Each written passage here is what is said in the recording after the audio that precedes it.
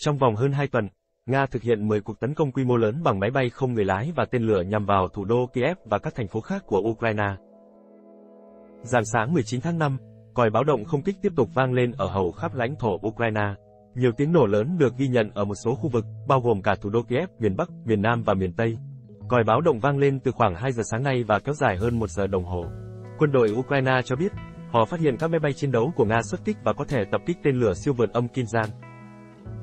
Chính quyền Kiev sau đó cho hay, Nga đã triển khai các đợt tấn công bằng máy bay không người lái nhằm vào Kiev.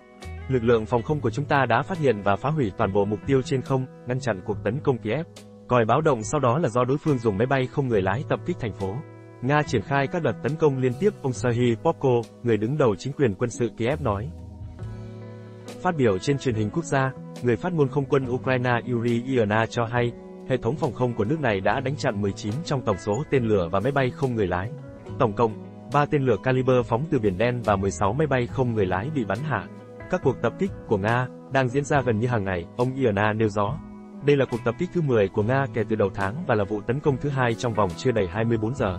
Hôm qua, Nga cũng phóng ít nhất 30 tên lửa hành trình cùng với các máy bay không người lái nhắm vào Kiev.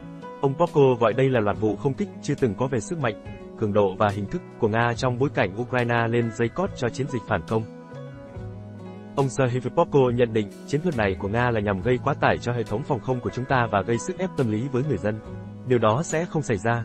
Một quan chức quân đội cấp cao của Mỹ chỉ ra, Nga đang áp dụng chiến thuật mới, tiến hành các cuộc không kích lớn hơn từ nhiều hướng cùng một lúc, nhắm vào các trung tâm chỉ huy và kiểm soát ở Kiev cũng như các địa điểm có giá trị cao khác. Tuy nhiên, quan chức trên cảnh báo, Moscow khó duy trì chiến thuật này bởi nó sẽ khiến kho tên lửa, máy bay không người lái của Nga nhanh chóng cạn kiệt.